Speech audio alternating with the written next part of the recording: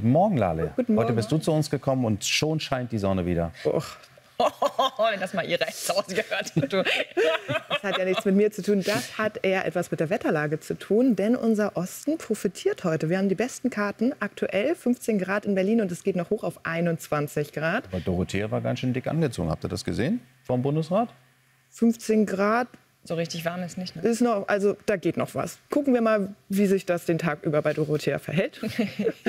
Aber wir haben die besten Karten. Wir haben heute einen wirklich schönen Herbsttag und der will genossen werden. Wir schauen drauf. Die Arbeitswoche endet unbeständig. Nur unser Osten darf sich über erstklassigen Herbstwetter freuen.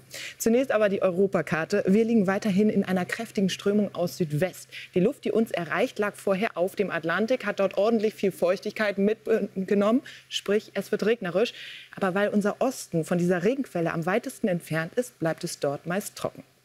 Von Berlin bis Sachsen und regional auch im Süden geht es mit lockeren Wolken durch den Vormittag. Später am Tag ziehen dann im Westen Schauer auf und auch Bayer bekommt dann am späten Nachmittag, Abend etwas davon ab. Genauso wie der Norden ungefähr von der dänischen Grenze bis zu den ostfriesischen Inseln. Der Wind hält sich heute nicht zurück, sorgt an unseren Küsten für stürmische Böen oder Sturmböen. Aber glauben Sie mir, ich bin Fahrradfahrerin. Auch im Landesinneren wird es durchaus mal windig. Von der Mitte bis in den Süden wird der Tag wie angesprochen von Regen und Schauern gezeichnet. Aber von den östlichen Mittelgebirgen bis Vorpommern dürfen Sie sich auf Sonnenschein freuen.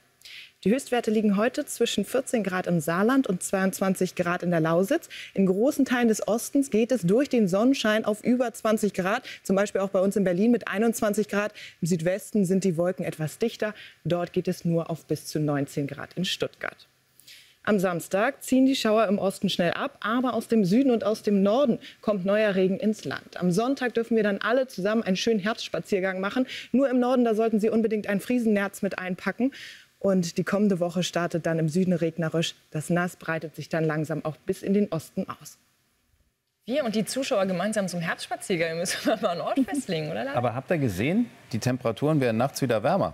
Maira hatte gestern nämlich zweimal 0 Grad drauf, also fast schon Gefrierpunkt. Ne? Und jetzt stand da 1 und 2. Es freut mich, wie Herbst, der goldene das Herbst rückt immer näher. Es sind die kleinen Dinge für Carsten. Sehr schön. Ja, die zählen im Leben, die kleinen Dinge. Lale, danke.